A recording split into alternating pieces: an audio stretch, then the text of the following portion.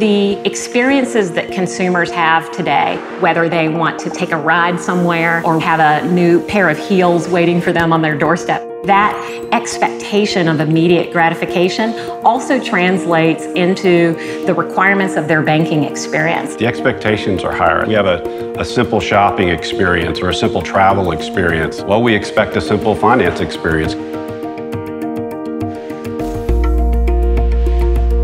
Way you look at a branch 15 years ago or even five years ago is very different than the way you look at a branch today. The size of the branches are smaller. There's much more of a high-tech experience. There's no doubt that the banking experience has become increasingly digital with features that include digital sales walls, tablets, and Wi-Fi capability. What's really changed for our clients as they look at financial needs and how they interact with banks is the immediacy of information. How quickly can they see information? How easily can they share that information? They're looking for a banking solution that allows certainly speed, immediate access, but also allows the consumer to feel that they are in control. Banks have the ability to provide that blend of digital speed and convenience with the knowledge and trust that they get only from humans. There's still a need, certainly, for human touch as well as the digital interaction. You have laptops, tablets, your phone.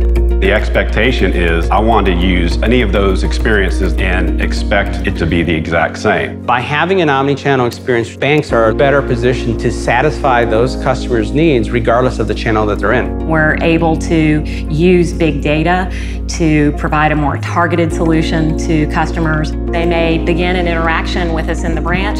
We can capture notes about their preferences, their goals, their future needs. As the analytics provides better insight to what a customer is doing and how they do it and with whom they're doing it.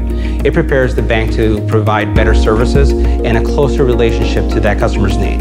The trust factor is so incredibly high. What can we do to be further entrusted and doing it simpler, faster, cheaper, and more secure as finance evolves in the future?